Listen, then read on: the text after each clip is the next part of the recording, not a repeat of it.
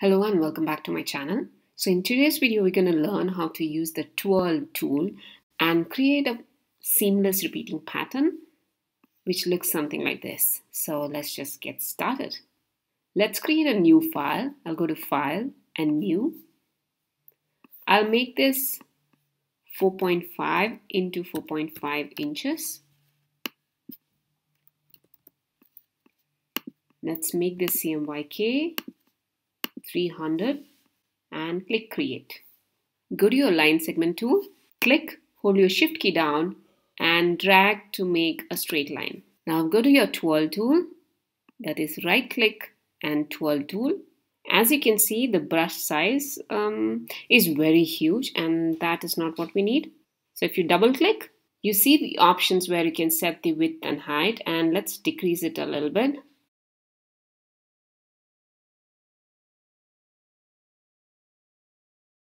Click OK and you can see it's much tinier. So now we come to this point, click and hold till you have created a twirl that is good enough for you. Let's do the same thing here. Alright, so the first part is ready. Now let's go ahead and click on our selection tool. Now right click, transform, rotate.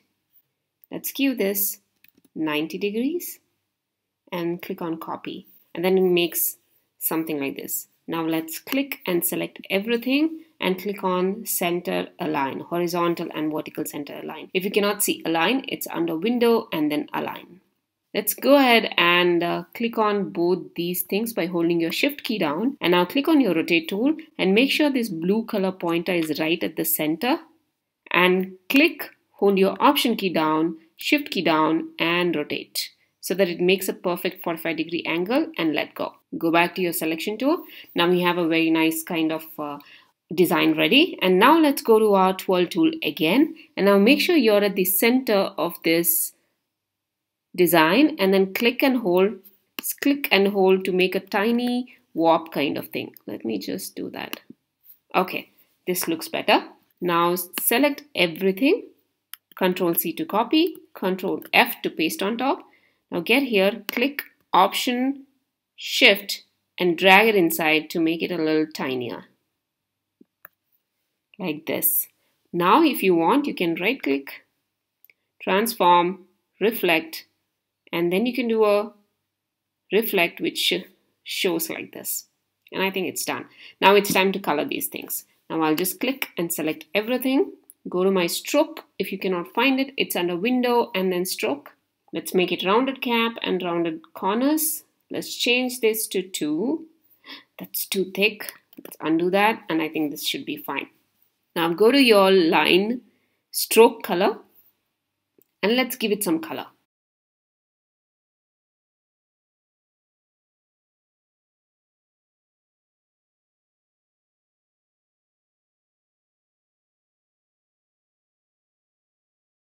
All right, that sounds fine, but I'm just going to go ahead and click on these big ones over here. And then increase the stroke. Let's make this 1.5 and see how it looks. Yes, much better. And now let's go ahead and go to your circle or ellipse tool, right click and ellipse tool. Go to the center of this, click hold your option key down, shift key down and drag it out to make a circle. Let's remove the stroke. For color, let's give black.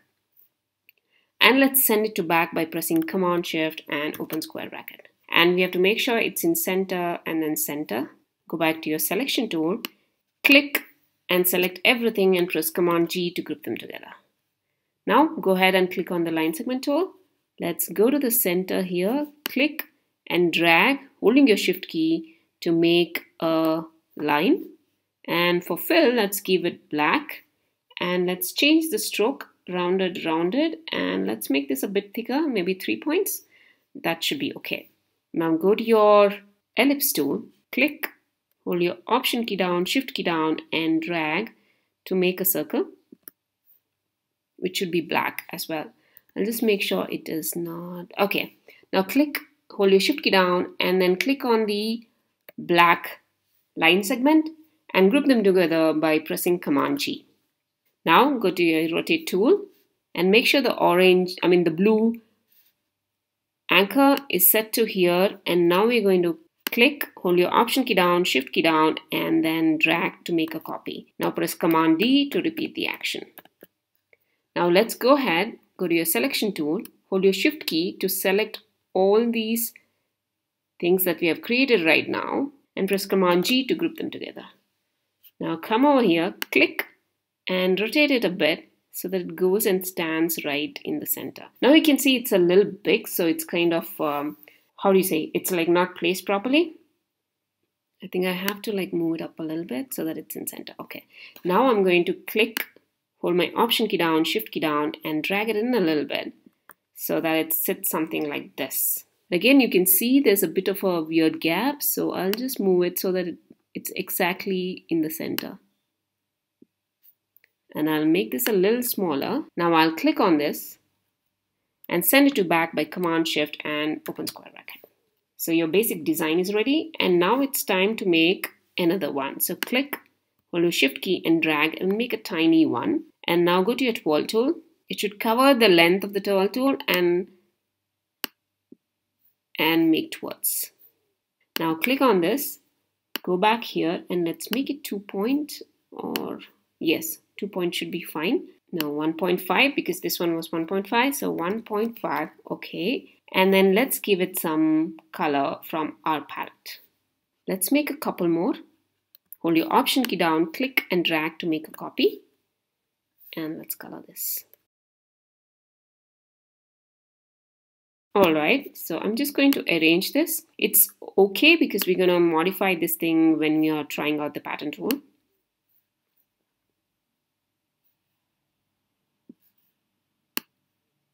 all right now click and make sure this whole thing is one group so click on this one and click on the black design and then click command G to group them together and that should be okay now click and select everything click on object pattern and make.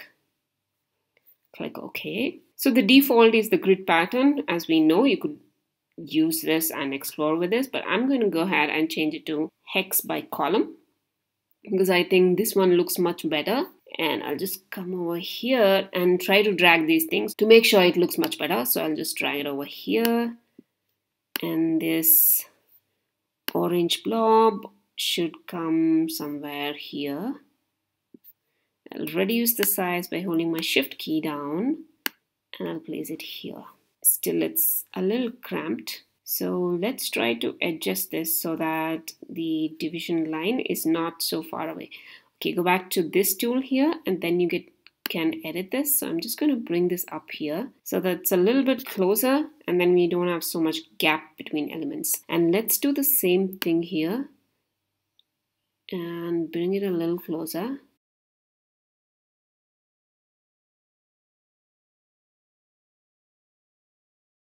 Okay, I think this should be okay. Go ahead and click on this again so that it's locked. And now let's try moving these things around. So I don't think I need this. I'm going to delete that. We'll work with the rest of the things that we have. The blue one fits there perfectly. Whereas this one, I think delete it. We can bring it back later if you want. So click and drag over here. And just rotate this a little bit so that it does not look exactly like this one right here. Okay, I think I want to adjust this a little bit so I'll just go here and give it so that's a little more closer